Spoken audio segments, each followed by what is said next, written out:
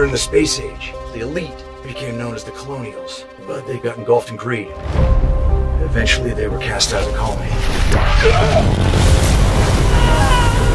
And they became known as the Exiles.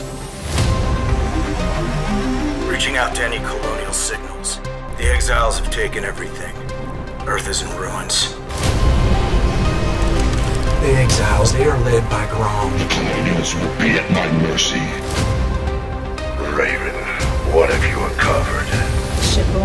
Colonial named Silas. That's not just any colonial. There's a large exile force approaching rapidly! We're out of time! Did you really think you could come to Earth without us knowing? You will suffer every second of every